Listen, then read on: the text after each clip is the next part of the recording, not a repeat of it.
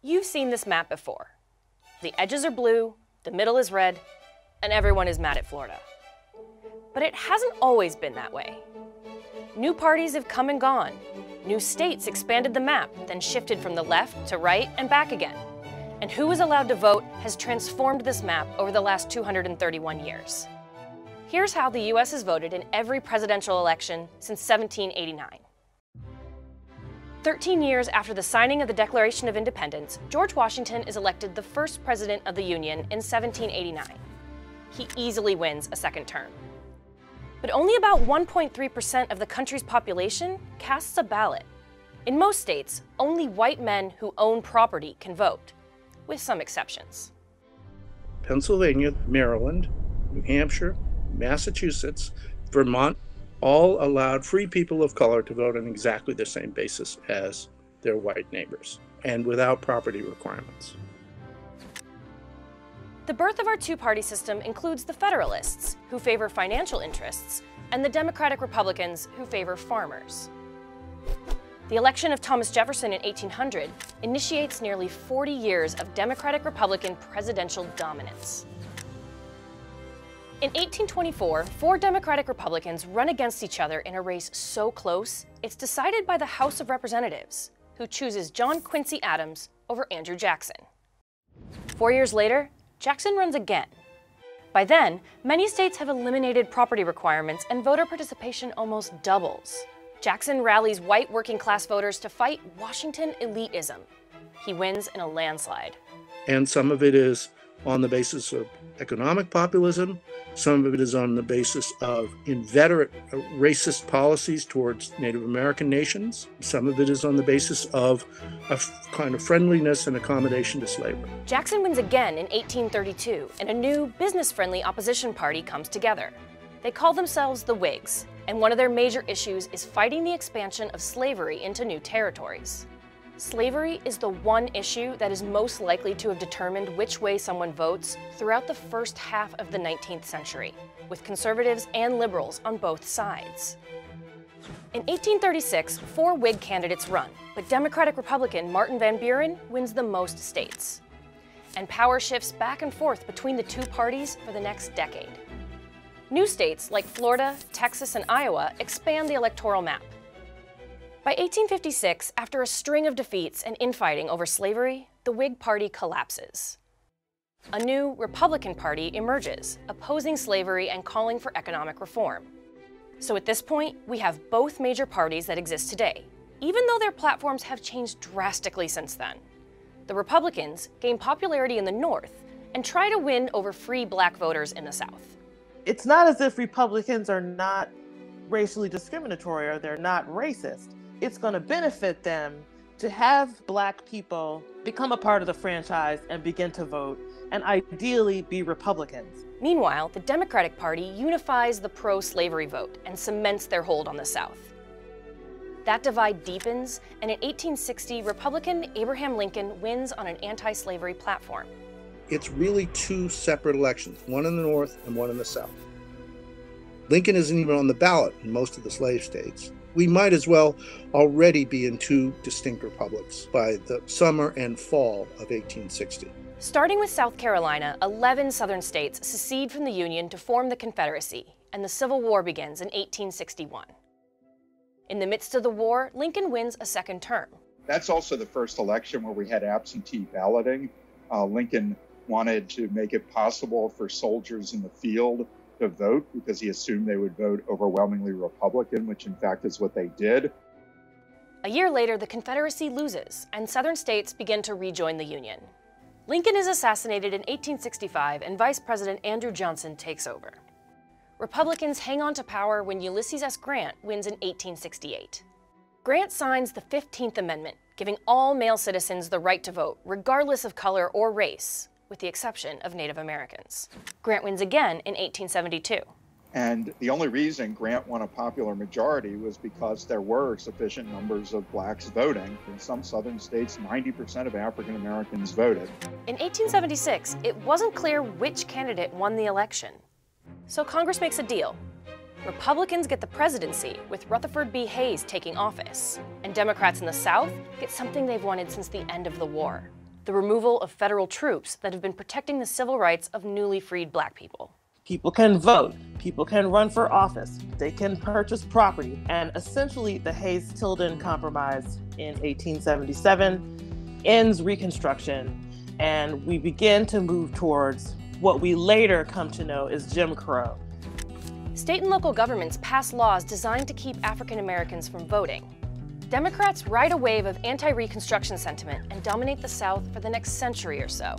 Still, in 1896, Republican William McKinley wins by the largest margin his party has seen in 20 years. The Republican Party basically had become the presumptive majority party. I mean, it was a contest basically over kind of rural agrarianism and urban capitalism, and the country favored Republicans. In 1912, Theodore Roosevelt runs as a progressive in what he dubs the Bull Moose Party. It splits the Republican vote in half, handing the win to Democrat Woodrow Wilson. Still, Roosevelt's Progressive Party is the first with an agenda designed to attract women suffragists. So the agenda of progressives was things like food and drug legislation, child labor legislation, uh, factory legislation, better education, uh, those sorts of things. And those are traditionally seen as women's issues. And the progressives understood that if they enfranchised women, they would win more votes. The women's movement gains momentum through the 1910s, and states like Washington, Oregon, and California give women the vote. The 19th Amendment grants women the right to vote nationwide in 1920. But six decades pass before they turn out at the same rate as men and form a significant voting bloc. Women may be turned out at two thirds of male voters, right? They weren't changing the electorate in that way. They weren't going to change it until they started voting differently from men. After Wilson, three Republicans win in a row, ending with Herbert Hoover in 1928. The economy crashes in 1929, and public outrage over the Great Depression helps Franklin D. Roosevelt win in 1932.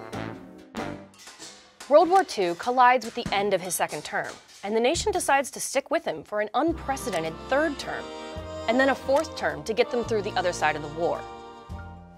Voter demographics and party alignment shift during his 12 year presidency in ways that can still be felt today. Democrats consolidate the support of recent immigrants and younger working class whites who had previously voted Republican. New Deal Democrats begin winning over the millions of black people migrating north to escape Jim Crow terror in the South when Roosevelt first ran in 1932, when he was first elected, 80% of African Americans were still voting for Herbert Hoover. The first time significant numbers of blacks voted Democratic was in Franklin Roosevelt's reelection in 1936, and that's because the New Deal anti poverty programs extended to African Americans. FDR dies in 1945. Vice President Harry S. Truman takes over and then wins the election of 1948. If you were a Truman voter in 1948, what you thought you would be voting for is, in effect, a third stage of the New Deal. But in 1952, Republican Dwight D. Eisenhower ends 20 years of Democratic rule with two landslide elections in which he only loses the South. Presidential campaigning passes still another milestone. A TV-savvy campaign leads John F. Kennedy to victory in 1960, the last time a winning candidate loses Ohio. The newly popular medium forces him and the nation to confront rampant discrimination against black people. Civil rights activity um, in the 1960s is being aired on television globally. By the mid 1960s, we're involved in Vietnam. Parade, mass draft card burning was urged. The globe is seeing us every day on television, um, not standing by the same kinds of principles that we argue we're bringing to other countries. And our task, our obligation, is to make that revolution, that change. Civil rights bills had been passed in 1957 and 1960 but neither fully enfranchised blacks in the South. At 125, the motorcade moves into the downtown area. Death is six minutes away. In JFK is assassinated in late 1963. Lyndon B. Johnson becomes president and wins outright in 1964. If we succeed, it will not be because of what we have, but it will be because of what we are. He passes the Civil Rights Act of 1964 and the Voting Rights Act of 1965, meant to keep states from changing voting laws the way they had during the Jim Crow era. You never actually achieve equity between the black vote in terms of its percentage share and the white vote, but the improvements are substantial. The Democrats' strong civil rights push alienates many white Southerners who throw their support behind Republicans. In 1968, a year of social upheaval, Republicans pick up support in the West and Midwest as the country shifts right. Richard Nixon wins the election, running on law and order. What Nixon is essentially telling people is that civil rights has gone too far. If you elect me, you know, I'll, I'll bring us back to a more stable, uh, stable system. Nixon wins in a landslide in 1972. Two years later, amid the Watergate scandal, Nixon becomes the only president to ever resign. Therefore, I shall resign the presidency effective at noon tomorrow. Then in 1976, Jimmy Carter secures the Democrats' last win for almost two decades. Actor turned governor Ronald Reagan beats Carter in 1980, revitalizing the conservative movement. This every four year ceremony we accept as normal is nothing less than a miracle. It's hard to overstate how devastating a defeat um, the 1980 election was for, for the Democrats. Because if you compare 1980 to 1984, they actually get worse. Reagan's vice president, George H.W. Bush, wins in 1988 as the clear frontrunner with the promise to continue Reagan's policies. But in 1992, Bill Clinton, a Southern Democratic governor, revitalizes his party by successfully appealing to moderate voters. And Clinton is uh, is elected on this platform of a kind of young new Democrat. Al Gore is his running mate. The idea is that this will symbolize a new generation of, uh, of Democrats. In 2000, Republicans rally behind the younger George Bush, George W., then the governor of Texas. Al Gore wins the popular vote, but a controversial Supreme Court decision gives Bush Florida, handing him the election. In the wake of the 9 11 attacks, Bush wins again in 2004, coming close to rebuilding Reagan's Red Wall but in 2008, during a devastating financial crisis, Democrat Barack Obama wins in a landslide, picking up solidly Republican states like Virginia, and becomes the first black president. But on this January night, at this defining moment in history, you have done what the cynics said we couldn't do the Obama approach is to energize the young and essentially to appease uh, and soothe suburban voters who had been uh, reliant Republican voters in the 80s and 90s because basically they thought Democrats would drive the country off the cliff uh, uh economically. After Obama wins a second term in 2012 with the same diverse coalition of voters, Republicans do what they call an autopsy on their party. The postmortem said we need to reach out to Latino voters. We need to reach out to Asian voters. But four years later, they nominate a famed real estate baron and reality TV star not known for appealing to a diverse array of voters. Donald Trump doesn't intend to build a wall. Believe me, folks, we're building the wall. Believe me. And Believe instead, what Trump realized was maybe I could double down on the racially resentful white people who, in each election, are voting slightly more and more Republican. In 2016, Hillary Clinton is the odds on favorite to become the first female president. Pundits point to the blue wall of states that had voted Democratic over the past six elections. But that was not to be. Very similar to the Voting Rights Act itself, the election of Obama created a significant backlash. I mean, the American history is defined to some degree by civil rights movement forward, backlash, white supremacy back. Clinton does win the popular vote, but Trump charges through the blue wall, winning the Electoral College with a campaign that by and large ignored the 2012 autopsy. Trump's populist campaign captures swing states like Florida, Pennsylvania, and Wisconsin that could have gone either way. I, I don't know if, if Trump's a political genius or not, but he intuited something that you actually could squeeze another presidential victory or two out of a racially disaffected white electorate. Today, the experts say the American political system is the most polarized it's ever been. Trump benefited from the fact that 90% of Republicans are going to support him. There's this phenomenon called negative partisanship, where even if you don't love your party, you know you hate the other side.